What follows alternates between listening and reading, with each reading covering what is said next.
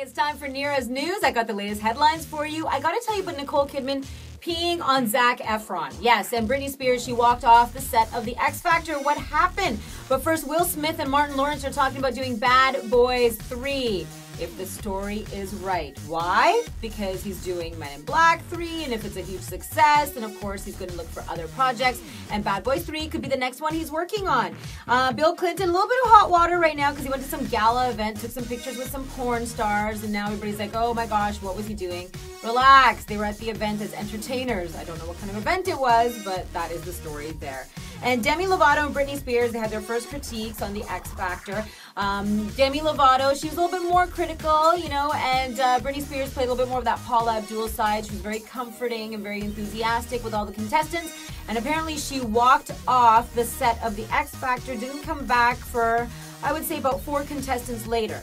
And uh, the reason she walked off it, the reason that she walked off is because uh, there was one contestant that sang Hold It Against Me and they totally botched the song. And because of that, she got offended and she did not come back.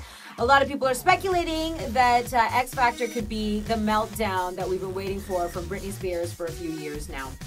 And Kanye West, he's begging Kim Kardashian's mom, Kris Jenner, to stop plastic surgery. Apparently, Kris Jenner is addicted to plastic surgery and he doesn't want her to become like his mom, who actually passed away from having too much plastic surgery.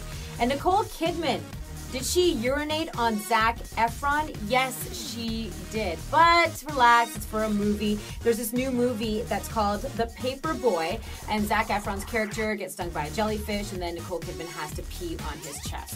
So that's the story there. It's pretty funny. Uh, oh, quickly, before I go, gotta tell you about John Travolta, too. Apparently, Kelly Preston might be leaving him.